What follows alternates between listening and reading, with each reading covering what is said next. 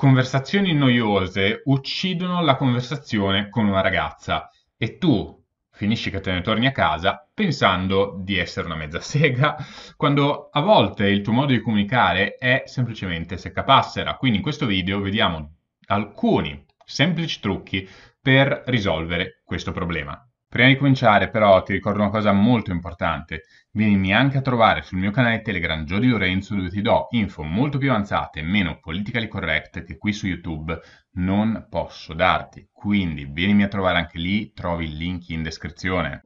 Primo trucco, non fare domande chiuse in quanto uccidono la conversazione molto velocemente. Entrambi vi sentite a disagio e lei se ne vuole andare. Se ad esempio ti racconta di come sia stata in Thailandia, l'uomo medio le chiederà Ah, ti è piaciuta? E da lì ti becchi un semplice sì o no che, a meno che lei non voglia davvero investire nella conversazione con te, e di solito quando sei all'inizio non è così, diventa difficile lavorare questo tipo di risposta. Quindi, secondo trucco, fai domande aperte. Che cosa le è piaciuto? Raccontami di più. Prova di questo tipo. Terzo trucco, perché? Di solito quando penso alla Thailandia, nella mia testa è più una meta per uomini che vogliono imparare arti marziali o sentirsi come Leonardo DiCaprio per un paio di settimane. Quindi si cerca di farla investire maggiormente. A questo punto lo studente delle prime armi, che almeno però non è un semplice information junkie, ma ha praticato almeno un pochino, potrebbe dire Gio, ma io ci provo, ma loro non investono o a volte non investono anche se io provo a fare le domande aperte, tra virgolette, giuste, e la mia risposta è esatto, baby.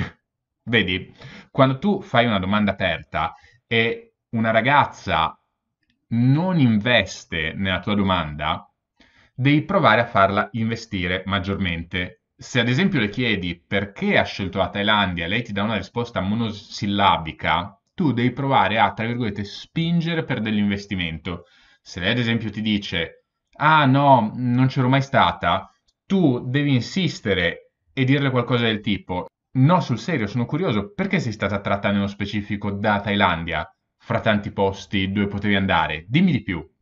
E se lei non lo fa, in realtà abbiamo un ottimo indicatore, e cioè sappiamo che lei non sta investendo in quanto nella sua testa il tuo valore è basso, almeno in questo momento o per sempre e a questo punto dovremmo decidere se provare ad alzarlo o passare alla prossima ragazza e considerazioni di questo tipo magari saranno oggetto di un prossimo video.